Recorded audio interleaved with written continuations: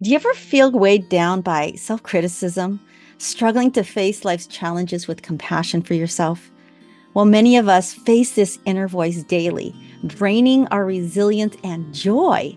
But what if you could transform that voice into one of kindness, helping you face life's ups and downs with grace and self assurance?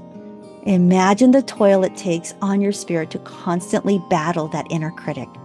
The stress and self doubt it brings can make even small challenges feel overwhelming. Without learning how to address these triggers, both external and internal, it is easy to feel stuck as if you're never fully living up to your potential or embracing who you truly are. Now, our 21 Days of Self Compassion course offers a powerful solution.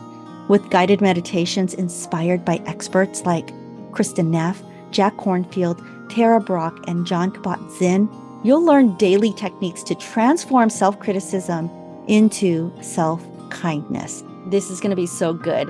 Over three structured weeks, you'll work through external triggers, deepen your response to internal struggles, and begin healing from past experiences, creating a stronger, more compassionate relationship with yourself.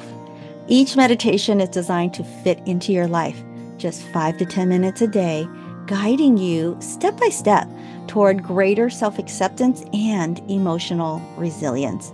It's a practical, supportive journey toward reclaiming your autonomy, healing from within, from the inside out, and living life on your own terms, claiming, reclaiming, re embracing your sovereignty. Click buy now to start your path to a more compassionate and empowered way of living.